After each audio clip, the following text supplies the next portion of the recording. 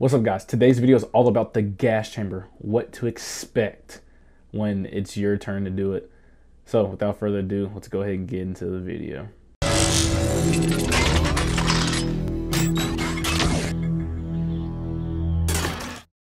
So first of all, I'm going to tell you, your drill instructors are going to hype up the gas chamber so much. Their go-to response for anything you do is I'm gonna I'm, I'm, gonna get you back in the gas chamber. Just just wait until we go to the gas chamber. I'll, I'll get mine back. Right. That that's gonna be their go-to answer is the gas chamber because they know that everyone is fearful of the gas chamber.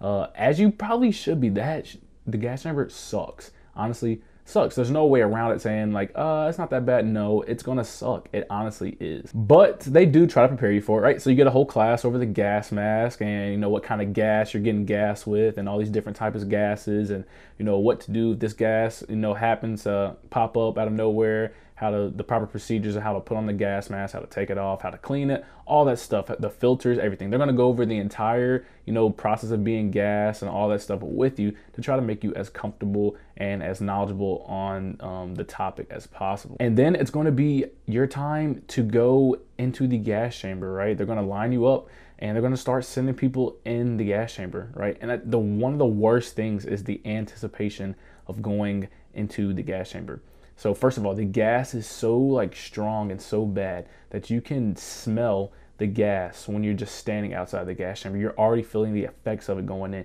And you know, you're hearing people screaming inside the gas chamber and then you see them running out and just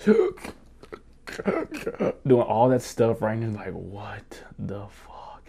And then you got all these drill instructors like, mm-hmm, yep, just wait until you go up in there. I can't wait. You know what? I'm going in there with you. I can't wait right? So you're you're already so freaking scared. And then it's finally time for you to step up inside of the gas chamber, right? You get in the gas chamber, you see all these guys, and you know the full suit with the gas on, with the gas mask on. They got like the ammo can. They're about they're popping in little pellets, about to start burning the gas in there. But y'all all flow in, and instantly, instantly, you feel it all over you. It's just it feels like someone's prying you with needles, right? Someone's just poking you over over with needles, right? But the the gas on your skin, it's not that bad, right? It burns maybe a little bit, right? But then you get up in the gas chamber, you know, they're having you do jumping jacks. If the drill instructors don't like you, they're just gonna tell you to take off your gas mask and just start inhaling the gas. And that is when it is horrible, right? So there's gonna be part of the gas chamber where you're retired, you're required to take off your mask, and you know you can hold your breath we know when you take it off, right? But you're gonna have to take it off, and they're not gonna let you put it back on until they see everyone's gas mask is off, right? So just make sure before they tell you to take off your gas mask, you take in a deep breath before you take it off. But if the drill instructors don't like you or if they just want to mess with you, they'll just make you take your gas mask off and they'll make you say "aye, sir" inside the inside of the uh, gas chamber, which is going to force you to breathe it in. And if you breathe that shit in, oh my damn, it is the worst feeling. One of the worst feelings on earth. You're gonna, you're, you're definitely gonna feel like you're about to die. I'm telling you, you're gonna feel like it's all over. Uh, but yeah, I've seen it where they took out the filters uh, in someone's gas mask, right? So someone just breathing in straight CS gas the entire time they're in the gas chamber, and you're only in there for about I think maybe it's like five minutes, I would say, uh, but it feels like 30. Uh, but you're not in there that long. But honestly, it does suck very much. But yeah, like the, they're basically gonna have you do jumping jacks in there or whatever they want you to do. They're gonna require that everyone puts two fingers underneath their gas mask, take the gas mask off their face, and make sure you can put it back on and clear it out properly. But that that's it. That's what the gas chamber is. And then you just run out and you know start flapping around like you're crazy and and letting all the snot and stuff around your nose and all that. And that's a good thing if you were sick up into the gas chamber, right? So I think I, was, I had a little bit of sinus problems uh, before I got to the gas chamber. And once I actually went through the gas chamber, it literally is going to clear you all out. Um, but yeah, you just clean off the gas mask and all the gear that you use, and then it's over. But the gas chamber is way, way different in the fleet. Getting gas in the fleet is way different, right? So the gas chamber of the fleet is so chill, chillax. You don't have to take off your gas mask. All you do is just walk up in there. Uh, they pop in some pellets and they just watch you, and that's it. And they tell you to get out, right? It literally is like all three minutes maybe. They don't do all that extra stuff.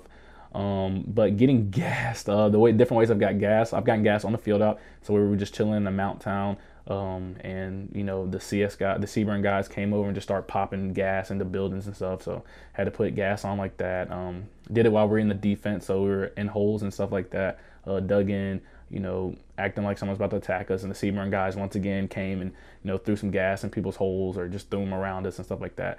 Um, but that's basically how you're going to get gassed, like in the fleet. Um, my last time getting gassed, I had to line up. This was this was one of the worst ones actually.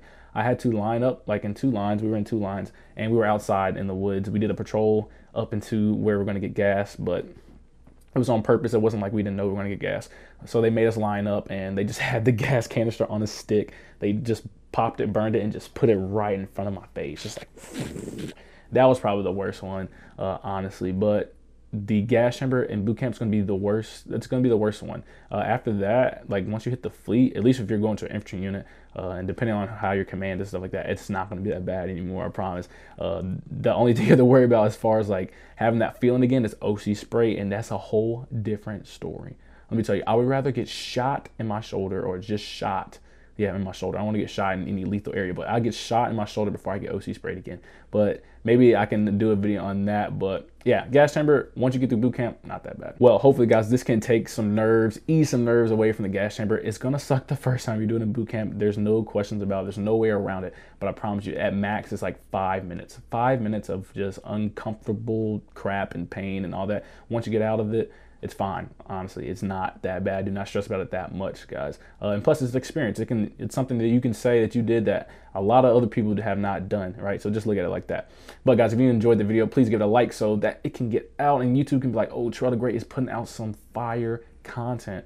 Um, if you want me to do a video on getting OC sprayed or anything else, please leave it down in the comments down below, guys. As always, if you have not yet subscribed, geez, I almost fucked that up. If you have not yet subscribed, please subscribe. I've been looking at the analytics and I see a lot of people have not yet subscribed. Is it because you don't like me? What's going on? If you got a problem with me, just leave it in the comments. No, but for real, if you haven't subscribed yet, please subscribe. Also hit the notification bell so you do not miss any of my upcoming videos, guys. And as always, thanks for watching.